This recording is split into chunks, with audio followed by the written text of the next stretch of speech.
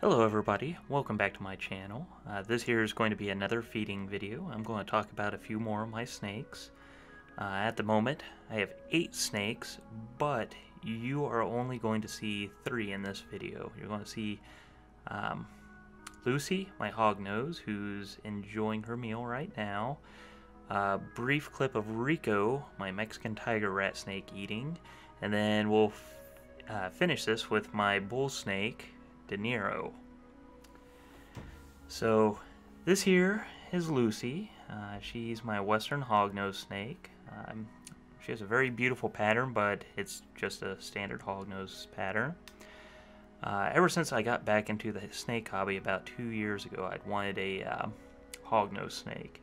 And so I picked her up last March. And uh, for the most part, she's been a good eater. Uh, hognose snakes can be a little picky during certain times of the year. And she's only gone on two hunger strikes, each of which lasted for roughly about two weeks. But that said, when she goes through a growth spurt, you can tell because whenever I hold her, she thinks I'm food, and so she tries to eat me. So whenever I notice her getting a little hungry, um, I generally start feeding her more uh, mice. In this case, this year is actually the first time I believe um, she's ever eaten a hopper mouse. But when she's going through a growth spurt and I need to handle her, I oftentimes wear gloves because she will sit there and chew on you for 10 minutes. And uh, it's not, I mean, it's not a terrible experience, but it's not a pleasant experience at the same time, uh, especially when she gets her rear fangs in you but that said, she's a pretty good girl. Um, like I said, I got back into the snake hobby about two years ago, and uh, she's actually the second snake I got. The first was my corn snake, Frankie. And, uh, I don't know, uh, hognose snakes are just really cool. Like, uh, they have kind of a, uh, a goofy looking face that's absolutely adorable and uh, just everything about them's kind of cool. Uh, recently, I've redone her vivarium. She's uh, going to be going full bioactive. Uh, if you're not familiar with what that is, that's basically where you make an enclosure more like their natural environment. So you introduced uh, various uh, bugs and stuff that clean up after the snake whenever they use the bathroom or shed and uh, you keep live plants in there. And I'm wondering how this is going to go since hognoses generally prefer a drier um, environment.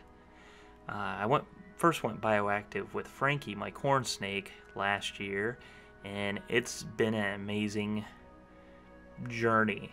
Um, I, I, couldn't be happier with the results. So now I'm trying to get all my snakes on there. Um, but yeah, I'm uh, planning on doing individual videos on all my snakes featuring care guides, how I got them, a little bit of their history, and just, you know, fun facts in general. So, yeah. Here's Lucy, everybody.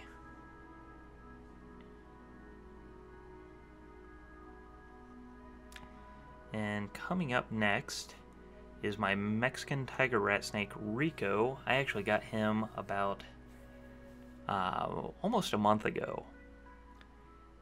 I don't have that much footage of him because he tends to be, anytime I get my camera out, he likes to hide. Even if he's eating, uh, I'll try and place the rat out somewhere where he can uh, find it and it's visible on camera, and then he usually drags it back behind a vine or a rock or his log or something but I actually recently just got some good footage that uh, I need to uh, clean up. But yeah, he's a uh, he's definitely my most intimidating snake. He's probably somewhere between seven and eight feet long, and uh, he'll strike at you. Um, if you're not aware, I think I might have touched on this in a, uh, another video. He's actually a rescue. I got him from a coworker of mine's brother uh, who was unable to take care of him. So I decided, hey, yeah, I'll, sure, I like snakes. I'll go ahead and take him. right now, he is temporarily in a 55 gallon enclosure. Uh, that's way too small for him, but um, I will be upgrading as soon as I get my tax refund back, and he'll have a super nice enclosure. Okay, this next snake is my little baby bull snake, De Niro, and uh, if you're not a film buff, uh, he's named after Robert De Niro, who was in the movie Raging Bull. Um, out of all my snakes, he probably has my favorite personality. Like, he is a very curious snake. He'll follow you around and he'll stay put in uh, your hand. He's very fearless, and I think he's absolutely adorable. Now, that said, I'm not going to say he's my favorite snake because honestly, out of all my snakes, uh, my favorite snake is whichever one I happen to be holding at that moment. Uh, they all have qualities that I absolutely adore about them, and I love them all. I don't think I could give any of them up if I had to. Um, but De Niro, I got him at the All Ohio Reptile Show, which is a monthly reptile show in Hilliard, Ohio. And uh, I got him about two months back. And I had been wanting a bull snake for a while. Bull snakes, they can get up to like six to eight feet in length and they have really cool patterns and really cool personalities. Um, and I don't know if anyone here ever watches the Snake Discovery YouTube channel, but I'm a huge fan of that channel, and she features uh, bull snakes on it all the time. And I would say her channel is the main reason I wanted to get a bull snake. And uh, so I went to this reptile expo and I was walking around and I saw they had a baby bull snake for about 40 bucks and I had to pick him up. Like, I, there was no way I was going to walk out of that reptile show without a bull snake. Uh, recently, though, um, he did come down with a case of mites. I don't believe that was actually from the reptile show. I think I actually may have contracted the snake mites uh, from a uh, pet shop and then he just unfortunately got a hold of them. Uh, I've treated it, and everything seems so uh, fine so far. I haven't seen any more snake mites, and I redid all my snake enclosures. Um, but it was a little bit of a wake up call. Like I, I did quarantine my snakes, but it was a very loose quarantine. Uh, since then, I have completely revamped my quarantine procedures. Um, every snake that comes into my house, uh, the first thing I do is I spray it with the reptile spray. Oh, let me apologize for the noise. Uh, natural chemistry reptile spray is supposed to kill mites and reptiles on, or kill mites on reptiles. Don't want it to kill reptiles, that would be very bad. But it supposedly kills mites on contact. So what I do is I spray him down with that, uh, and then I keep whatever snake it is that I had just gotten after I spray it down in a little shoebox for about 30 minutes or so. And then once this 30 minutes are up, I gotta wash it off. So what I do is I get another little plastic shoebox tote. I think they're called totes. You know, the little sterilite containers with uh, holes drilled in the side and I put a few drops of Dawn dish soap in it, and I fill it up with water, and I put the snake in there, and I leave it in there for another 30 to 45 minutes. And uh, once that's up, they go into their quarantine enclosure, which all that is is just a uh, sterilite shoebox tote that has holes melted in it, uh, so for ventilation. Um, I use paper towels. They have a little drinking dish, and I'll scatter a few things in there for cover so they feel secure. But uh, for quarantine boxes, since you're trying to observe them and you want to see if they have mites or any type of illness or whatever, the simpler the shoebox or the simpler the enclosure, the better. It's only a temporary thing, and uh, I've so far I've quarantined my snakes for about 30 days at a time. Uh, I think I might bump that up to about 60 days just to be safe.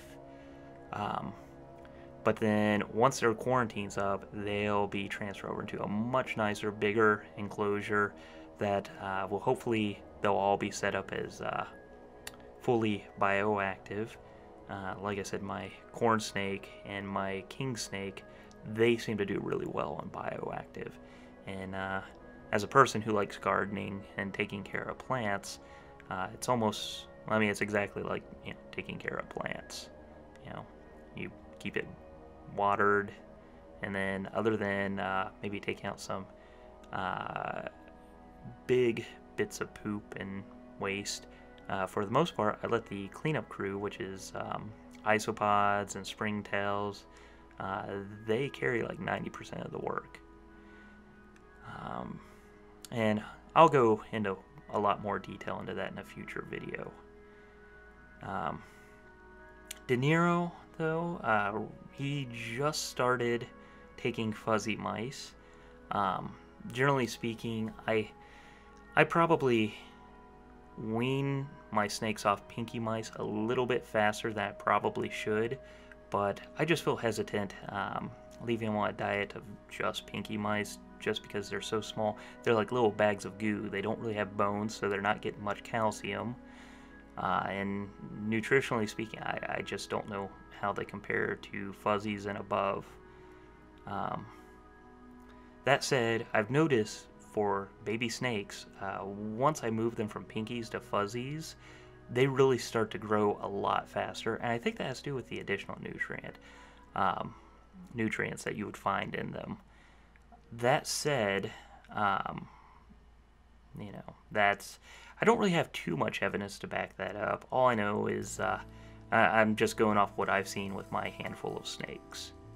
So, um, but I can't wait till De Niro gets to be, you know, six, seven, eight feet long. I think he'll be a uh, spectacular snake to use for snake shows. So, well, this here is pretty much the end of my video. Uh, I will show some of my other snakes eating. Uh, if you want more of this content, uh, be sure to like, subscribe. There's a little bell there. If you click it, you'll start getting notifications whenever I upload a video. And, uh, well, I hope everyone has a wonderful weekend.